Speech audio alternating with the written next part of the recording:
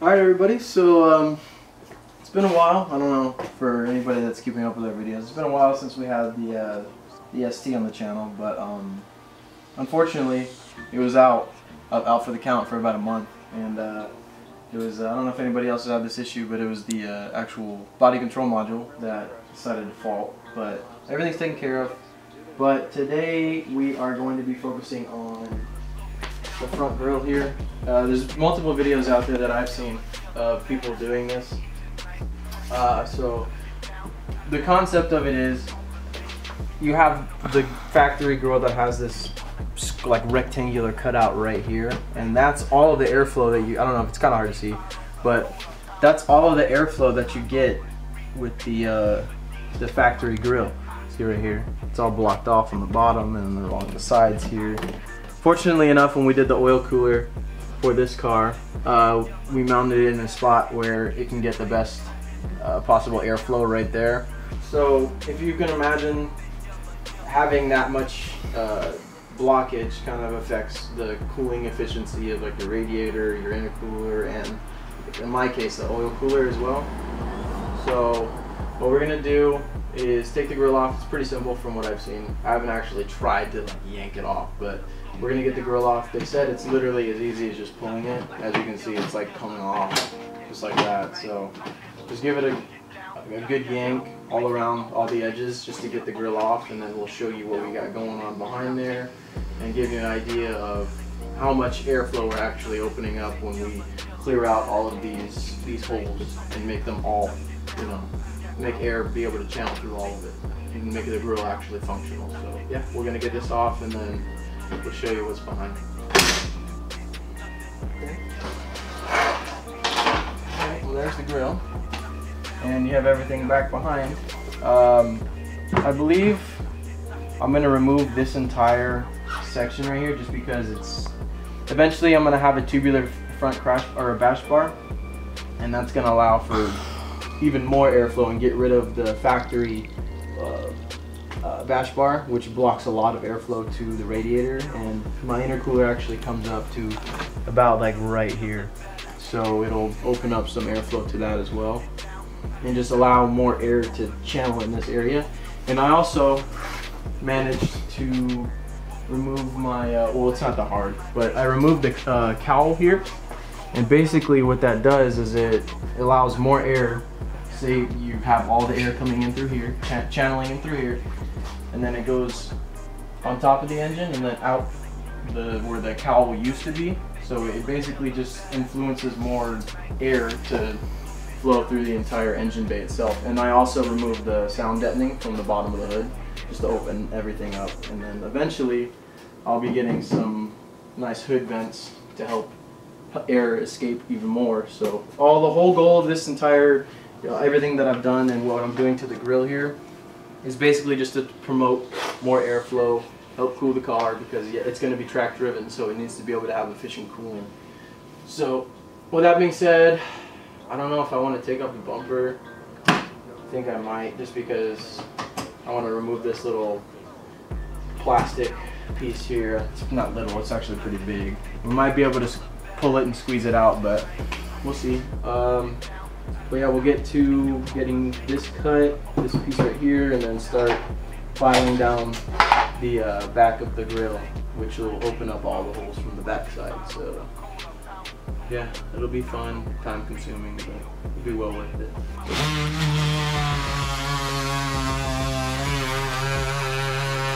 So we went ahead and deleted that plastic piece from here and Unfortunately, I think we're gonna have to take the bumper off to get this piece off. I'm gonna see if I can work with it, maybe get it out, but I'll probably have to take the bumper off. But, I mean, you're not gonna see any of this because the grill's gonna be covering it. So, I mean, I didn't really care about how the finish turned out right here. But once we get this off, um, we can work on getting the whole back side right here all filed down. That way we have holes throughout the entire grill. We're gonna be using a tiger disc. Oh yeah, tiger point, tiger disc. Whatever you want to call it. Whatever you want to call it. It's a bunch of you know sandpaper layered up on top of each other. And you put it on an angle grinder, and you go ham with it. That's how we're gonna go about it.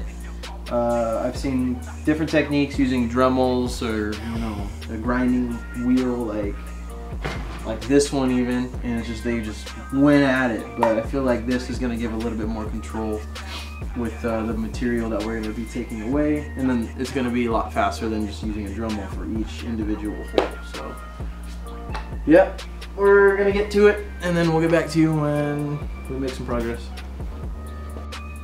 Alright, so we've done plenty of videos where it involves taking the bumper off. I mean, if you have any issues taking the bumper off, I mean, probably should know how to take it off. But um, we got it off, and just so you can have an idea of what we're dealing with with the cooling and the actual, you know, air channeling when we actually have the grill done, it'll be this entire opening that will allow air to go through it, which sucks with the factory bash bar because it's just so thick you see this, it's just very thick and it's just very obstructive.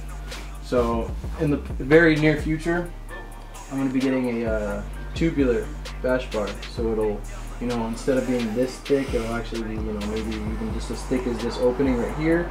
And it'll just be a bar. It won't be a flat surface blocking all this air and everything. So we'll mount this where the, uh, the new bash bar is and just, you know, go from there. Same with the intercooler mounting brackets. We'll probably have to make new new ones of those, but as you can see, like my intercooler probably goes up to like another like well maybe one inch up here. So once that's tubular, it'll allow more air to, to hit that surface, and the same with the radiator too. But the main reason we wanted to get that off is because we needed to get this plastic piece, which is literally just sitting right here, or like this.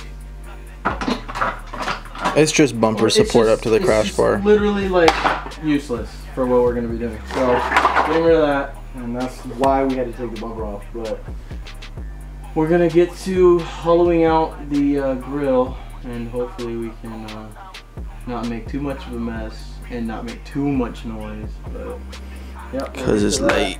Yeah, it's pretty late, but we'll get to that and then kind of just show you when we're actually doing it, just so you have an idea of what to look forward to if you actually do it yourself. So, yep.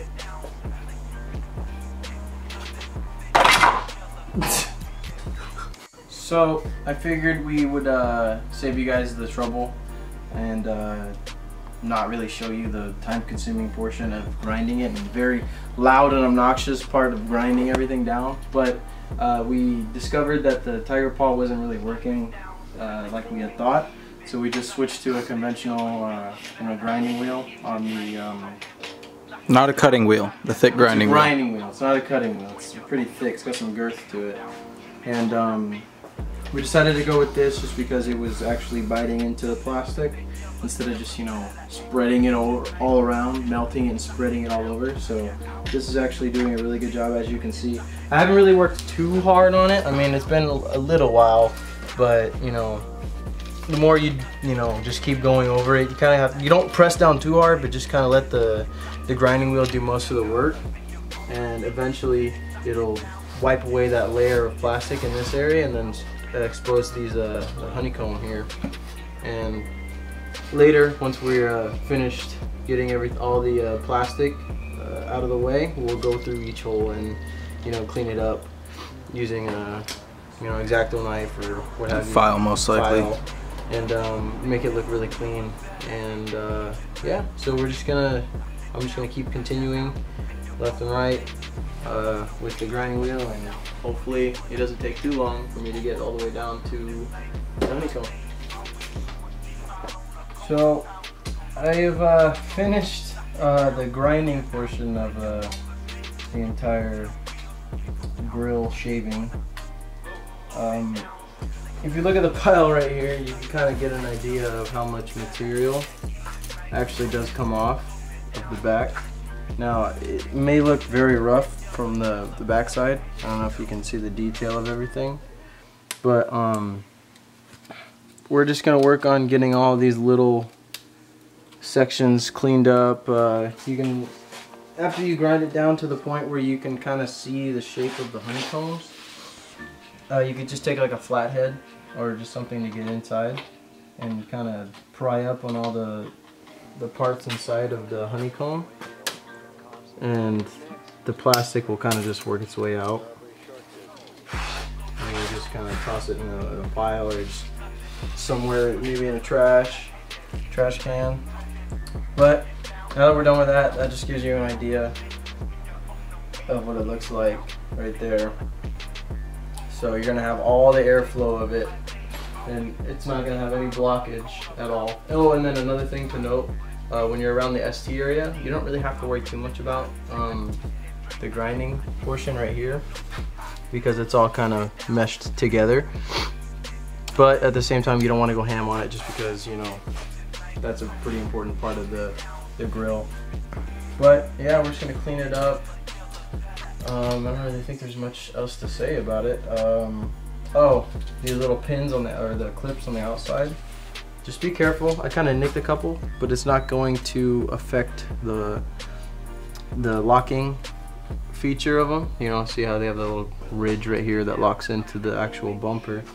Um, it's not really gonna have uh, an effect at all on that. But I'd like to mention that a common problem with the the newer generation grills is that they like to pop out of the bumper slightly and it's mostly from the top so like if you just get these little clips right here and you heat them up you can bend them upwards a little bit just to kind of lock them in place and then hold the bumper in a little bit more or hold the grill in more securely so we're gonna put the bumper back on uh, and actually too just to mention real quick we actually did take off the mud flaps uh, or Ben did. He took off the mud flaps while I was grinding them, and I just like that look a little bit better, just because you know mud flaps cause drag, and it's not a rally car, so you know there's not really a point to having the mud flaps if you're not going to be rallying the car. But I personally, I don't know why I bought the mud flaps. It was one of the first things I bought for the car. It was just that you know that time period you start modifying cars, and it's like, oh well, I'll just get the mud flaps, but in the end, I didn't want them, so I took we took them off. And um, If any of you guys want them though, hit us up. oh yeah, if you want the mud flaps, they say ST on them. I mean, it's they're just you know they're not generic. They're uh, I think it's uh, JBR. I think that's who makes them. Uh, but yeah, I wanted to reduce the drag there, increase cooling because we're just trying to get ready for you know track use and all that stuff. So we're just trying to take the, the as many steps as possible to get towards that you know end goal without having to spend like a crazy amount of money. So this is a great way to save money, and you know if you have the tools, it's definitely worth it because you get full functionality out of the actual out of the grill while holding you know the the visual aspect of it. But we still have to get the tubular uh, bash bar. That's coming but um, that'll definitely help with the cooling as well and the hood vents too. So we're gonna put everything back together, show you guys how it looks with the uh, with the grill all shaved out, and it should look pretty cool. So yeah, we'll get everything back together right now. All right, so what you see right now, bumper's back on. Uh, it's pretty much a representation of what you're gonna see while the grill's on. But I'm gonna put it on right now, and you can really see how like an aftermarket bash bar would actually make it look a lot different and the airflow you would get if you did have that. So the the difference in the airflow if you had it. So I'm gonna put this back on. Actually going from the bottom first.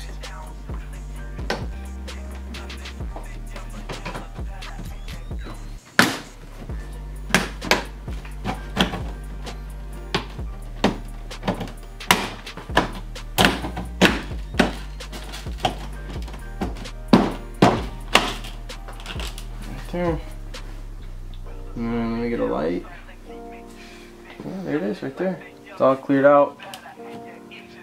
Um, like I said, it's gonna get a bash bar and it's gonna clean it up a lot. It's gonna be red bash bar back behind. Kind of have like a metallic flake to it, maybe just red.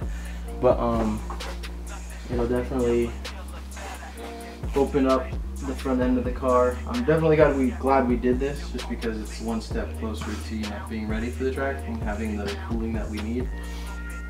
But next is going to be the, uh, the actual hood vents, which are probably going to mount right here just because this is the easiest location. It's just straight metal instead of having to go through any of these uh, support beams in the hood. But yeah, um, I think it looks. I'm not. I didn't really do it for looks, preferably, but um, some people, you know, they have like white STs and then the white uh, factory bash bar shows through, and it just makes it look a little bit more aggressive. But I mainly did it just because it helps airflow, helps promote the air to go through the entire engine bay. So, well, I hope uh, you enjoyed, and I hope this kind of helped anybody thinking about doing it. Um, it is loud. It, does take quite a long time, and it does make a pretty big mess. But if you just have patience, you know, if you just need, you know how to finesse the the grinder and not uh, take send it through, send it through one of the tabs, you should be good. And um, just clean everything up when you get it all shaved down, make it all nice and clean, shave out all the inside, and then have a fully functional, breathable grill for your Focus. So, yeah, thank you very much. If you have any questions, uh, please feel free to comment and uh, let us know if you want to have any ideas for any videos that you want us to make, you know, regarding this car, the Damon's car with his Fiat, uh, Ben's car with his EG, or his uh, BRZ. Uh, we are doing... Or the 944. Or Eddie's 944. Sorry, Eddie. I didn't mean to leave you out, but I still love you. Um, so yeah, we still are doing the engine build, which is turned into a desk at this point. But his name's Todd. uh, we are doing that still. Uh, I still need to. I already got the rings. I still need to balance the uh, the rods and pistons, and then from there we measure uh, uh, bearing clearances and all that stuff using Plastigage. But we'll get into that in later videos and whenever I feel like you know attempting to do all that stuff myself, which because I am doing it myself. So uh, I'm really happy to have the car back, and I'm glad I changed up the look a little bit with the lack of my flaps, and then did the uh, the grill. I've been wanting to do that for a very long time. So next is going to be for the for the cooling is going to be either the uh, bash bar or the vents for the hood. So definitely stay tuned for that. We're going to be doing all that ourselves, and even the bash bar. We're fingers crossed. We're going to be able to fab it up with um, our buddy Alex. He's the one who did all my exhaust work and who helped us with the oil cooler with the welding of the two fittings. So hopefully we can get that situated with the front end. And yeah, we uh, thank you very much for watching. Uh, comment, subscribe, uh, like if you uh, liked it. and uh, we will see you in the next video. Well, I'm really impressed with the way, you know, when cops and dope don't mix, do the Mr. Leahy, like shipping Strawberry shortcake.